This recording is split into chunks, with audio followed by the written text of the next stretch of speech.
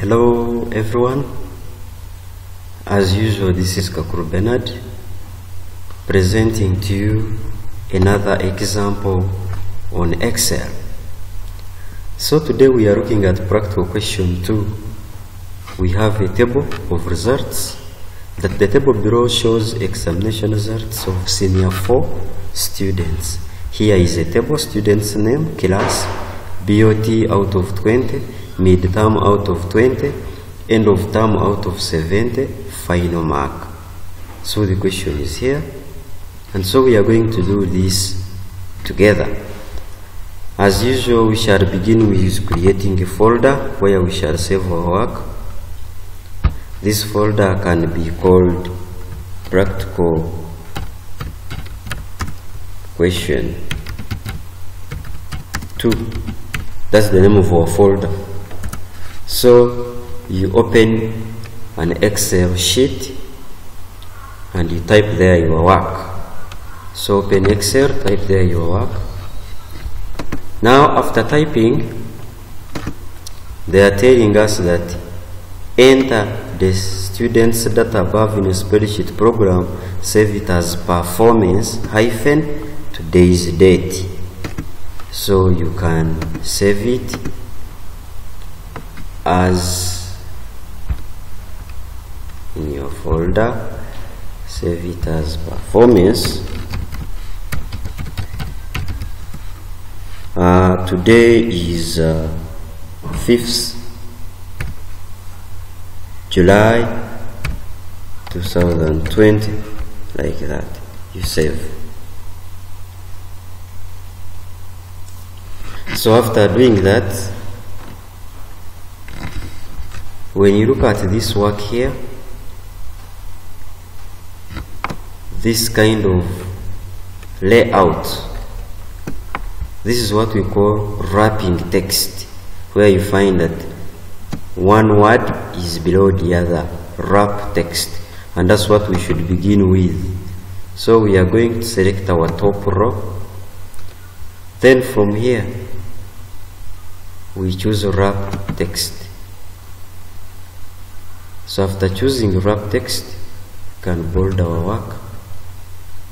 And then after bolding the headings this you reduce it a bit around that. Even this can be reduced around there. This can be reduced around there. And this you can reduce it there. So this is what we call wrap text. But when you look at our question this class is on top so meaning that we shall have to align our headings top like that. So that we have it in that format.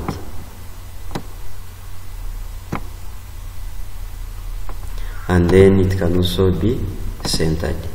Top centered. That is our work now. So after doing that again you can see here our BOT has a zero. BOT column has a zero before those values. So meaning that you have to highlight your column you right click go to format cells. Under format cells you come and click number tab. Then you click on custom. Reaching custom click this zero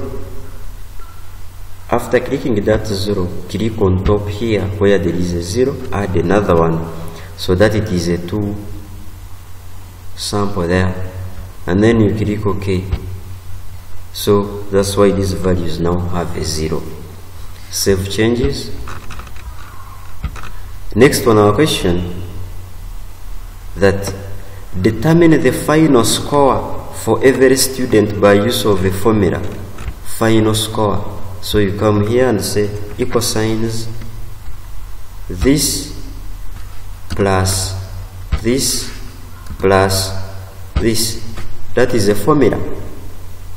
You can put these in brackets or else you can leave them like that. Press enter. So this is the final score for each student. Save changes. Next determine the student's position in a new column basing on their final marks. That we determine students position. Position. So here meaning that we shall use a function called rank. So we say equal sign is rank.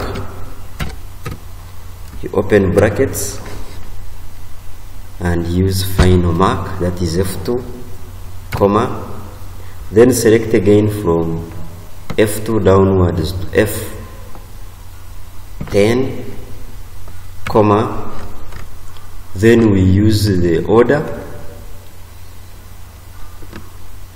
0 which is descending meaning that whoever has highest the highest mark will be the first one in the rank so use order 0 cross the brackets then highlight the range f2 to f10 in your function and make it absolute by pressing F4 function F4 on your keyboard.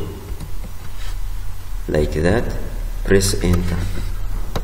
So here we have determined the position save changes next on our instruction calculate the square root of Rehema's total mark in cell F12 that we calculate the square root of Rehema's total mark in cell F12. So click in F12 around there. So we say equal signs SQRT square root Rehema is here. Rehema po. Then you click that. You close brackets, enter. So that is the square root of Rehema's total mark. So here we can say SQRT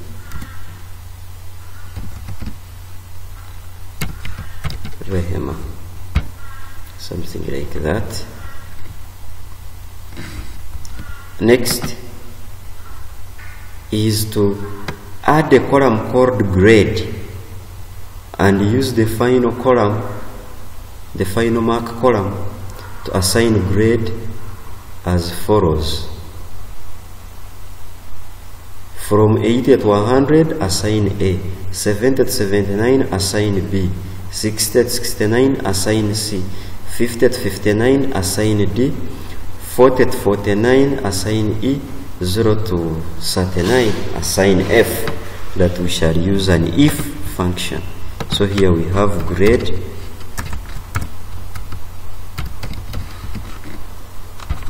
So from here we can say equal signs if open brackets final mark is greater equal to 80 comma assign A comma if open brackets final mark is greater equal to if final mark is greater equal to 70 assign B greater equal to 70 comma B in quotes comma if open brackets final mark is greater equal to if final mark is greater equal to 60 C greater equal to 60 comma open quotes C close quotes comma if open brackets final mark is greater equal to uh, what else? Greater equal to 50 D is greater equal to 50 comma open quotes D close quotes comma if open brackets final mark greater equal to 40 greater equal to 40 comma open quotes e close quotes otherwise the if is ending. Otherwise f cross quotes cross brackets. We are going to use how many brackets? One two three four five. We are going to use five brackets in closing. One two three four five. Each bracket represents the one you opened. Or how many ifs have you used? That's what it means. You press enter and then you autofill your column. Save changes. Next is to insert a green thick border with blue grids inside around your work. So we are going to highlight our work. We right click format cells we now click the border tab color green thick outline color blue grid inside. Click ok. Save changes. Next one our instruction is insert a header students performance and a footer of your names and center them.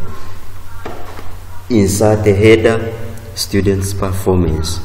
So we go to insert header and footer. So in the center section here this is left center right. So in the center section student students performance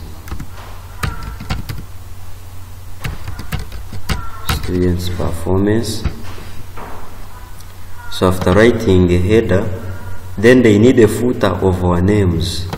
So in this footer we can I mean in this header we can click go to footer write your names Kakuru Benard. Then go back to header and click in your work. Next on our instruction is to copy and paste your work on sheet 3 so here we can select all. Control A we copy. Right click copy or click copy there. Then click sheet 2 click the paste icon. Save changes. After pasting this work on page 3 write your names below the work on sheet 3 write your names below the work on sheet 3 so here we can put our names Kakuru Benard that's what they wanted. Write your names below the work on sheet 3 then J select the names EOT and final mark columns to form a column graph and save it as my graph. That we select names EOT final mark select names EOT hold down control and select EOT column. Hold down control and select final mark. Then we go to insert. Column. Choose that first graph. Then move chart. Or right click here. Right click there or right click on your graph and say move chart here write my graph. Then you click ok. So the chart should have appropriate titles meaning that we shall go to layout chart title above chart. So we say column graph can say a graph showing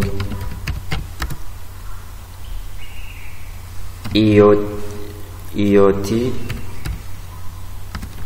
and final mark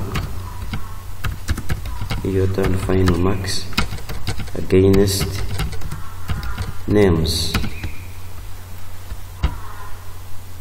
press enter it is there then after we put the x and y axes so axis titles primary horizontal title below axis which is here simply start typing names press enter it appears there then again axis titles primary vertical vertical title max is here press enter it appears there. Save changes. Then convert the EOT max into a line graph. Convert the EOT max into a line graph. So here when you look at our key here EOT is blue final mark is red. So click on one of the blue bars any of the blue bars click there right click there go to change series chart type. Change series chart type. Then you click line graph line click ok. Save changes. So EOT max have been converted into a line graph. Save changes. Next on our instruction save changes and print your work so here you have work on sheet 1 it means that you will click file print and then here is your work on sheet 1 with grids you print. Then you go back home tab click on on my graph click file print. This is your graph will be printed. Save.